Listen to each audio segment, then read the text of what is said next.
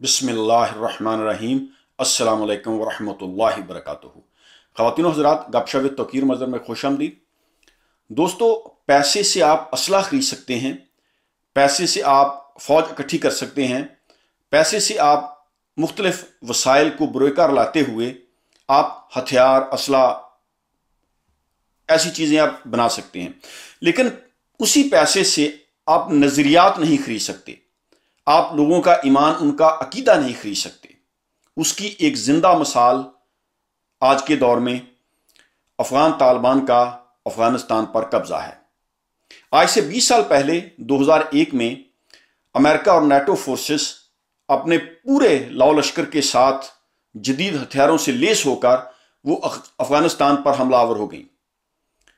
उस वक्त ये कहा जा रहा था कि चंद मुट्ठी भर तालिबान, जिनके पास ना असला है, ना जदीद हथियार हैं, ना उनके पास कोई खुराक की फरावानी है, ये चंद दिन भी इस सुपर पावर के सामने नहीं टिक सकेंगे। लेकिन अल्लाह रब्बुल के फजल से 20 साल लड़ने के बाद अमेरिका और नेटो फोर्सेस वहाँ से भाग रही हैं और अल्लाह ताला ने मुसलमानों को फतह दी है। काबुल फतह हो चुका है और तकरीबन 94 95 परसेंट अफ़गानिस्तान पर तालिबान का कब्जा हो चुका है। आपने सब देख लिया न्यूज़पेपर पर इलेक्ट्रॉनिक मीडिया पर, यही खबरें चल रही हैं। मेरी आज की गुफ्तु का मौजू ये है कि किसी भी मुल्क की फौज उस वक्त तक कामयाब नहीं हो सकती, जब तक उस मुल्क की अवाम अपनी फौज को सपोर्ट ना करे। अफ़गानिस्तान की अफगान आर्मी को अमेरिका ने बिलियंस ऑफ़ डॉलर के फंड से उनको तैयार किया, उनकी तनख्वाहें मुकर की, उनको जदीद हथियार दिए। लेकिन इसके बावजूद एक बड़ा सवाल यह है कि तालिबान जब अपने अफ़गानिस्तान के इलाकों पर, सूबों पर, शहरों पर कब्जा कर रहे थे तो अफगान फौज ने कोई मुजाहमत नहीं की। अशरफ गनी कल फरार हो गया। अफगान फौज ने क्यों मुजामत नहीं की? यह एक बड़ा सवाल है। जिस तरह अमेरिका ने, इंडिया ने, नेटो फोर्सेस ने अफगान फौज को तैयार किया उनको जदीद हथियार दिए, उनको साजो सामान दिया, उनको ट्रेनिंग दी, उनको एक बड़ा बजट जो है वो उनके लिए मुख्त किया। लेकिन इसके बावजूद जब अफगान तालिबान आगे बढ़ रहे थे, शहरों पर कब्जा कर रहे थे और बाज़ इलाके तो ऐसे उन्होंने फतह किए कि खुद अफगान फौज ने सरेंडर किया। देखिए, इसकी दो बड़ी वजह हैं। जैसा मैंने वीडियो के शुरू में कहा कि आप पैसे से हथियार खरीद सकते हैं। लेकिन आप पैसे से नजरियात नहीं खरीद सकते। अफगान फौज जो है एंड ऑफ़ द डे वो भी अफगानी है, वो भी मुसलमान हैं, और वो नहीं वो ये जंग लड़ना नहीं चाहते थे। वो नहीं चाहते थे कि अपने तालिबान के अफगानी भाइयों पर वो हमला करें। ठीक है, वो काम करते थे, आप मजबूरी कह लें या उनका, जैसे भी आप समझ लें, वो अफगान आर्मी में थे वो काम करते थे, अमेरिका उनको तनख्वाहें देता था, उनको साजो सामान भी दिया। लेकिन किसी हद तक वो अफगान तालिबान के नज़रियात से मुतफिक थे। इसीलिए उन्होंने ज़्यादा मजामत नहीं की। और दूसरी उसकी बुनियादी वजह यह थी कि जो लोगों की सपोर्ट अफगान फौज को नहीं थी। आपने देखा कि आप कैसे लोग अपनी फौज पर वो पथराव कर रहे हैं कि ये अमेरिका की कठपुतली हुकूमत थी। अशरफ गनी जो कल तक बढ़ के मार रहा था, अमरुल्ला साले और दीगर जो हैं, वो पाकिस्तान को गालियाँ दे रहे थे। वो कैसे दो दबाकर भागे हैं? वो कैसे अफ़गानिस्तान से चोरों की तरह वो भाग गए हैं? और अल्हम्दुलिल्लाह, अल्लाह ताला ने अफगान तालिबान को फतह नसीब की है, जिस पर पूरी मिलते इस्लामिया मुबारकबाद की मुस्तक है। अब अल्लाह करे, अफ़गानिस्तान में इस्लामी हुकूमत कायम हो और लोगों को दिल इंसाफ मिले और जिस मकसद के लिए उन्होंने जदोजहद की है, अल्लाह का निज़ाम वो अफ़गानिस्तान में राइज करें। तो मेरी वीडियो का मकसद ये है कि देखें, जो मुल्क, जिस मुल्क की आवाम अपनी आर्मी को सपोर्ट ना करे, वो फौज कोई जंग नहीं जीत सकती। उसकी ज़िंदा मिसाल अफगान आर्मी की है कि अमेरिका ने उनको असला दिया, उनको ट्रेनिंग दी लेकिन उसके बावजूद उन्होंने कोई ज़्यादा मजामत नहीं की, वो कर नहीं सके, क्योंकि अफ़गानिस्तान की अवाम की उनको सपोर्ट नहीं थी। अफ़गानिस्तान के अवाम के नजरियात जो हैं, वो तालिबान के साथ मिलते थे। मुझे याद है 2001 में जब अमेरिका अफ़गानिस्तान पर हमला करने की गर्ज से आया तो नेटो फोर्सेस और उस वक्त ये फिजा बन गई थी कि बस अब चंद दिनों में ये पूरे तालिबान को वो ख़त्म कर देंगे। 20 साल जंग लड़ी और आज देखें, वो कैसे अमेरिकन जो है वो अपना सामान छोड़कर, वो दुम दबाकर वहाँ से भाग गए हैं। उन्होंने अफ़गानिस्तान के लोगों को वैसे ही छोड़ा। अशरफ गनी जो लंबे चौड़े वादे कर रहा था, उसने भी अपनी आवाम को छोड़ा और भाग गया। और अफगान फौज जो है, उसने कोई मजामत नहीं की। उसने कोई इतना हमला नहीं किया, बल्कि वो खुद जाकर तालिबान के साथ मिल गए। अब देखें कि जिस मुल्क में अवाम जो है, वो अपनी फौज के खिलाफ हो जाए, वो फौज कभी भी जंग नहीं जी सकती। और बेसिकली अमेरिका वहाँ पर वो अफ़गानिस्तान के लिए नहीं गया था। उसका टारगेट था पाकिस्तान। उन्होंने तो नक्शे भी बना लिए थे कि 2015 में हम खुदा खास्ता पाकिस्तान को ख़त्म कर देंगे, हम इसके हिस्से बखरे कर देंगे, लेकिन अल्लाह ताला ने हमारे वतन अज़ीज़ को महफूज रखा। और ये जो प्रोपोगंडा ही था ना, कि जिन्होंने फिर अल्ताफ सैन को खड़ा किया और कैसे पाकिस्तान में वो दहशत गर्दी फैलाई, और पाकिस्तान में सत्तर हज़ार से ज़्यादा जो हैं, वो हमारी आर्मी, हमारी पुलिस, हमारे जो ताजर, हमारे भाई, हमारी पब्लिक, उनकी जानों का ज़्या हुआ, उन्होंने जाम शहादत नोश किया। और अल्हम्दुलिल्लाह हमारी फ़ौज ने बहुत कठिन हालात में मुख्तर बजट के साथ उन्होंने जंग लड़ी और दुनिया में वो काम करके दिखाया कि जो दुनिया की कोई फ़ौज भी ना कर सकी। अल्हम्दुलिल्लाह, पाकिस्तान की फ़ौज ने, पाकिस्तान की आईएसआई ने, हसासदारों ने ये जंग जीती और पाकिस्तान से दहशत गर्दी को ख़त्म कर दिया। ठीक है, इक्का दुक्का वाक़ात अब भी हो रहे हैं, क्योंकि अभी भी उनके जरासीम हैं इधर दहशत गर्दों के, लेकिन जैसे पहले था, वैसे नहीं हो रहे। हमारी फ़ौज ने अल्हम्दुलिल्लाह बहुत हद तक कंट्रोल कर लिया है।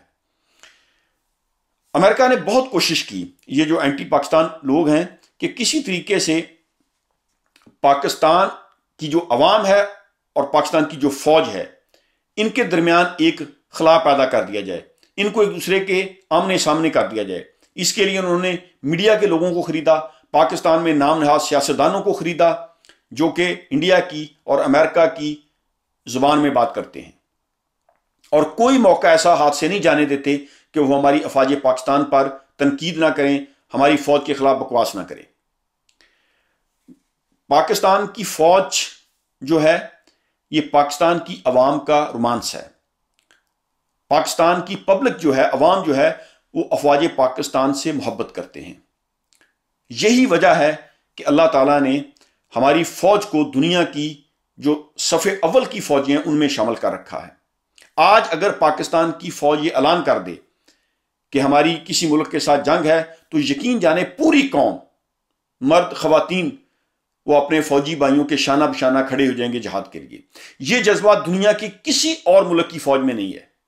यही हमारी कामयाबी का राज है कि हमारी अवाम जो है, वो हमारी अफवाज पाकिस्तान से मोहब्बत करते हैं। उनके खिलाफ कोई बात भी सुनना गवारा नहीं करते। जिस किसी सहाफ़ी ने, सियासतदान ने, किसी भी शख्स ने हमारी फौज के खिलाफ कोई गलत बात की है तो लोगों ने उस शख्स को निशान इबरत बना दिया है। अल्ताफ सैन का आप हाल देखें। और ये जो नाम नहा सियासतदान आजकल भगौड़े हैं, उनका हाल देख लें। लोग जो हैं, वो फौज के खिलाफ बात सुनना गौरा नहीं करते। लोगों को मालूम है। देखिए, सियासतदान जो है, वो करप्शन करते हैं, पैसा मुल्क से बाहर ले जाते हैं। ये हमारे फौजी भाई हैं, जिनकी बदौलत अल्लाह के बाद हमारी अफवाज पाकिस्तान, हमारे हसास अदारों की बदौलत हम पाकिस्तान में सुख के साथ रह रहे हैं। हमारी इज़्ज़त, हमारी जान माल महफूज है। हमारी आर्मी जो है, वो सरहदों पर पहरा दे रहे हैं, जाग रहे हैं। वो दुश्मन को रोके हुए हैं, जिसकी वजह से हम पुरस्कून तरीके से पाकिस्तान में रह सकते हैं।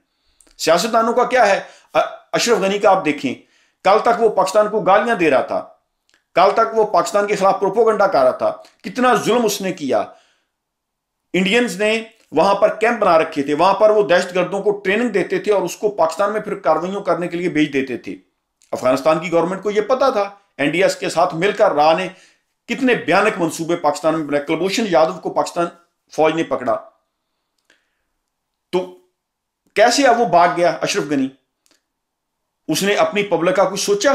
वो अपने बीवी बच्चों, क्योंकि ऐसे लोगों ने पहले से इंतज़ाम कर रखे थे, जिनकी फैमिलीज़ जिनके पैसा, जिनका कारोबार मुल्क से बाहर हो, वो उसने, वो निकल गया। तो अफगान जो आर्मी थी अफ़गानिस्तान के लोगों की उसको सपोर्ट नहीं थी। इसीलिए उन्होंने अफगान तालिबान के सामने सरेंडर किया और एक उनका नज़रिया भी अपने अफगानी भाइयों जो तालिबान के साथ मिलता जुलता था। तो मेरे बात करने का मकसद यह है कि पाकिस्तान की अवाम जो कि इन सियासतदानों की बातों में आ जाती है या दूसरे लोगों के प्रोपोगंडे में आ जाती है, उनको ऐसा नहीं करना चाहिए। हमारी आर्मी, हमारे मुल्क के मुहाफ़ हैं। हमें हर मुश्किल वक्त में, हर हाल में अपनी आर्मी के साथ खड़ा होना पड़ेगा। वरना फिर आप देख लें, सीरिया की हालत अराक की, लिबिया की हालत आप देख लें फिर। क्योंकि हमारी अफवाज पाकिस्तान लोग उन पर भरोसा करते हैं। और कुछ ऐसे ये जो लंडे के ये जो लिबरल तुरे चल रहे हैं पाकिस्तान में, और जो लफाफा सहाफ़ी ये जो करप्ट सियासतदान, जो कि बैरूनी आकाओं को खुश करने के लिए अफवाज पाकिस्तान पर तनकीद करते हैं और कोई मौका ऐसा हाथ से नहीं जाने देते जब ये आर्मी के खिलाफ बात ना करें, झूठा प्रोपोगंडा ना करें और आर्मी को बदनाम करने की कोशिश करते हैं। कभी ये कहते हैं कि आर्मी कारोबार करती है, कभी कुछ कहते हैं, क्या अमेरिकन आर्मी कारोबार नहीं करती? अफ़गानिस्तान में ये इनके आर्मी के जो जर्नल्स हैं, ये क्या करते थे? ड्रग्स स्मगलिंग नहीं करते थे असला नहीं बेचते थे, क्या कुछ नहीं करते थे? मैं आपको एक मिसाल देता हूँ। अब अमेरिका जो है, ये जंग हार के यहाँ से जा रहा है। दुनिया की बदतरीन शिकस्त हुई है अमेरिका को। यानी मुझे याद है 20 साल पहले जब अमेरिका अफ़गानिस्तान में आया तो कहता था जी हम ऐसे करेंगे, हम यहाँ पर स्कूल बनाएँगे, अफगानी लोगों को एजुकेशन देंगे, हम यहाँ पर बहुत तरक्की लेके आएँगे। क्या तरक्की लेके आए? अभी वो मुकम्मल तौर पर अफ़गानिस्तान से निकले नहीं कि पूरे अफ़गानिस्तान पर तालिबान का कंट्रोल हो चुका है।